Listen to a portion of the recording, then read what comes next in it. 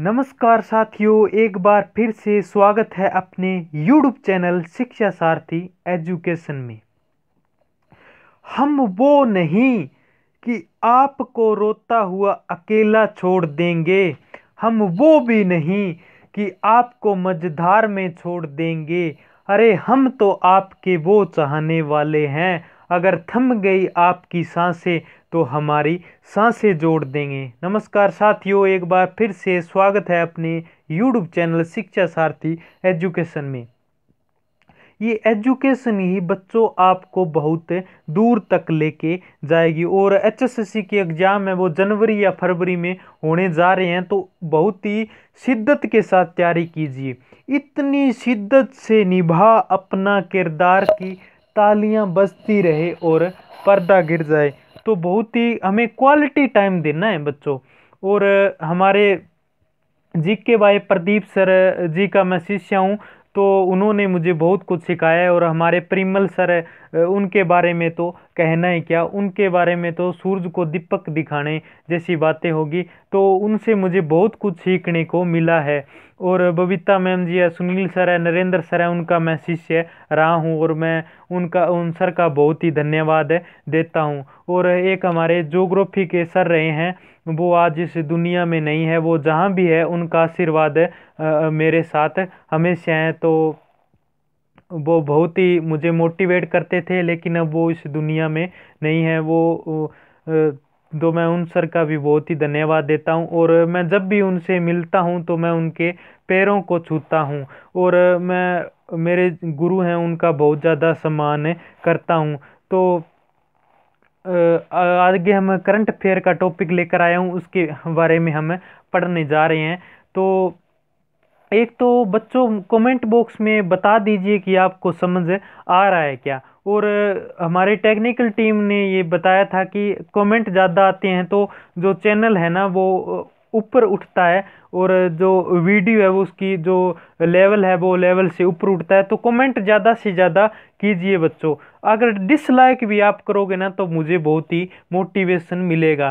तो आइए बच्चों, हम स्टार्ट करते हैं और जय माँ सरस्वती का नाम लेकर इस टॉपिक की शुरुआत करते हैं। तो पिछले जो हमारे करंट अफेयर के क्वेश्चन है, वो देख लीजिए नोट कर लीजिए नोटबुक के अंदर। और इन्हीं प्रश्नों के अंदर से जो एच एस के एग्ज़ाम है, मैं उनमें आपको ये प्रश्न दिखाऊँगा कि हमने ये करवाया था और ये एग्ज़ाम में आएगा। तो इन्हीं क्वेश्चनों में से आपको देखने को पिछले वाली वीडियो भी देख लीजिए। और आइए हम स्टार्ट करने जा रहे हैं बच्चों। तो नवंबर 2019 के हरियाणा के करंट अफेयर हैं। तो बात कर लेते हैं। पहला क्वेश्चन है हमारा। चौदहवीं विधानसभा का प्रोटेम स्पीकर कौन चुने गए हैं? तो रघुवीर जी का ध्यान बेरी विधानसभा क्षेत्र से चुने गए हैं और ये कांग्रेस के विधायक हैं। और 2014 में भी ये प्रोटेम स्पीकर चुने गए थे। और प्रोटेम क्या होता है बच्चों? प्रोटेम के बारे में बात कर लेते हैं। प्रोटेम होता है, प्रोटेम लेटिन भाषा से निकला हुआ शब्द है और प्रो और टेम यानी अस्थायी सदस्य चुना जाता है। जो भी विधायक चुनकर आते हैं, उनको शपथ दिलाने के लिए जो वरिष्ठतम विधायक होता है, उसको प्रोटेम स्पीकर का पद दिया जाता है और वो उन्हें शपथ दिलवाता है अस्थायी तौर के लिए और बाद में प्रोटेम स्पीकर का जो चयन किया जाता है विधायकों के द्वारा। तो ये कांग्रेस के हैं, बेरी गाँव झज्जर से चुनकर आए हैं रवि रघुवीर काद्यान जी, और 2014 में भी ये चुने गए थे प्रोटेन स्पीकर तो वो बच्चों, समझ आ रहा है ना आपको, ये मुझे कमेंट बॉक्स में बता दीजिए। आगे हम बात कर लेते हैं, चौदहवीं विधानसभा के स्पीकर कौन चुने गए हैं? चौदहवीं विधानसभा ज्ञानचंद ज्ञानचंद गुप्ता यानी पंचकुला विधानसभा क्षेत्र से चुने गए हैं ज्ञानचंद जी गुप्ता और deputy deputy speaker Ranveer ji Gangwa Nalwa विधानसभा क्षेत्र इसार में पड़ता है, नलवा विधानसभा क्षेत्र से चुने गए हैं। और विधानसभा का जो सत्र होता है, उसको जो स्पीकर होता है कई कारणवश नहीं आ पाता तो डिप्टी स्पीकर उसका कार्यभार संभालता है। तो रणवीर जी गंगवा नलवा विधानसभा से चुने गए हैं डिप्टी स्पीकर हैं। और तेरहवीं तेरहवीं विधानसभा के स्पीकर की बात करें तो वो कंवरपाल जी गुजर थे। और डिप्टी स्पीकर की बात करें तो वो संतोष यादव थी डिप, डिप्टी स्पीकर। और ये ऐसा माना जाता है कि एक बार जो डिप्टी स्पीकर चुना जाता है वो दोबारा विधानसभा का मुख्य नहीं देख पाता। और ये संतोष यादव जी दोबारा विधानसभा की सदस्य नहीं बनी और ये हार गई। लेकिन एक लेख लेखावती एक, एकमात्र महिला है जो दोबारा चुनकर आई थी। उसके बाद कोई भी डिप्टी स्पीकर दोबारा विधानसभा में चुनकर नहीं आया। तो संतोष यादव जी, तेरहवीं विधानसभा की तेरह विधानसभा कंप्लीट हो चुकी है। आगे हम बात करते हैं, एक दो क्वेश्चन इंडिया जीके से आएगा तो वो बीच बीच में मैं डालता रहूँगा। एच में भारत का कौन सा स्थान है? एच डी का क्या होता है? ह्यूमन डेवलपमेंट इंडेक्स में भारत का कौन सा स्थान है? एक सौ उनतीसवा। अगर 2019 18 की बात की जाए तो एक सौ तीसवा था, यानी एक पायदान ऊपर आया है भारत। एक सौ उनतीसवा स्थान है अब। इसमें क्या होता है? शिक्षा और स्वास्थ्य पर ध्यान दिया जाता है।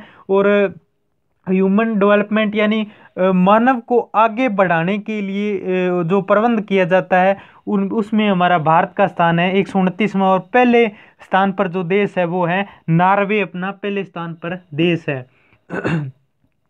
करनाल के फरीदपुर गाँव में खुदाई के दौरान एक हज़ारों वर्ष पुराना शिवलिंग मिला है और नंदी की मूर्ति मिली है और कुषाण कालीन ईंटें भी मिली है। तो करनाल के फरीदपुर गाँव में तो ऐतिहासिक दृष्टि से ये महत्वपूर्ण हो गया। ऐतिहासिक ऐतिहासिक ऐतिहासिक दृष्टि से करनाल के फरीदपुर गाँव में खुदाई के दौरान हज़ारों वर्ष पुराना शिवलिंग मिला है। हज़ारों वर्ष पुराना शिवलिंग मिला है और नंदी की मूर्ति और कुषाण कालीन ईंटें भी मिली है। तो ये करनाल के अंदर मिली है तो ये महत्वपूर्ण प्रश्न हो गया, नोट कर लीजिए।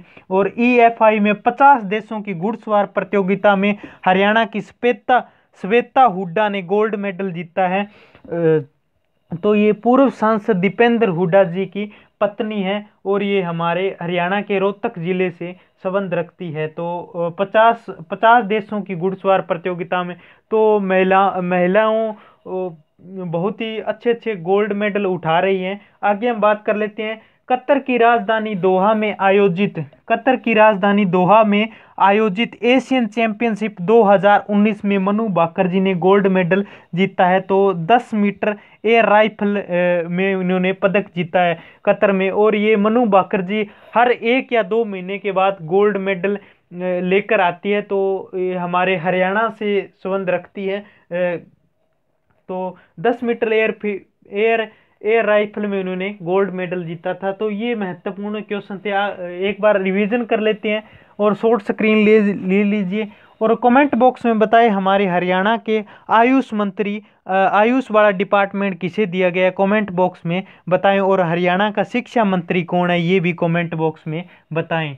और चौदहवीं हरियाणा विधानसभा के प्रोटेम स्पीकर रघुवीर जी काद्योन बेरी गाँव झज्जर से चुने गए हैं। कांग्रेस के वरिष्ठतम विधायक दल के नेता और प्रोटेम स्पीकर चुने गए हैं। 2014 में भी ये प्रोटेम स्पीकर थे और चौदहवीं विधानसभा के स्पीकर कौन है? ज्ञानचंद जी गुप्ता पंचकुला विधानसभा क्षेत्र से चुने गए हैं और डिप्टी स्पीकर कौन बने हैं? रणवीर जी गंगवा नलवा यानी हिसार विधानसभा क्षेत्र से चुने गए हैं। और तेरहवीं विधानसभा की बात की जाए तो कंवरपाल जी गुजर है और वर्तमान में शिक्षा मंत्री है कंवरपाल जी गुजर और डिप्टी स्पीकर थी तेरहवीं विधानसभा की संतोष यादव। और एचडीआई ह्यूमन डेवलपमेंट इंडेक्स में भारत का स्थान कौन सा है? एक और दो हज़ार अठारह में कौन सा स्थान था, एक सौ तीसवा स्थान एक पायदान ऊपर आ गया एक सौ उनतीस, और पहले नंबर पर कौन सा है? ह्यूमन डेवलपमेंट इंडेक्स में नार्वे हैं, और करनाल के फरीदपुर फरीदपुर गाँव में खुदाई के दौरान शिवलिंग मिला है, और नंदी की मूर्तियाँ और कुषाण कालीन ईंटें मिली है, और ई एफ़ आई में पचास देशों की घुड़सवार प्रतियोगिता में हरियाणा की श्वेता हुड्डा ने गोल्ड मेडल जीता है और पूर्व सांसद दीपेंद्र हुड्डा की पत्नी है। और कतर की राजधानी दोहा में आयोजित एशियन चैंपियनशिप 2019 में मनु भाकर जी ने गोल्ड मेडल जीता है। 10 मीटर एयर राइफल में उन्होंने गोल्ड मेडल जीता है।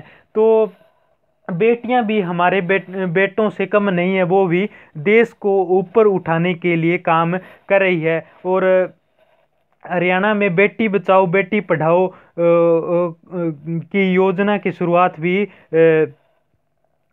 शुरू हुई थी। पानीपत से मोदी जी आए थे उसका उद्घाटन करने के लिए। तो तो ये थे करंट अफेयर के कुछ क्वेश्चन। आठ या दस क्वेश्चन डेली लेकर आता हूँ मैं और अच्छे बेहतर ढंग से इसे नोट कर लीजिए नोटबुक के अंदर।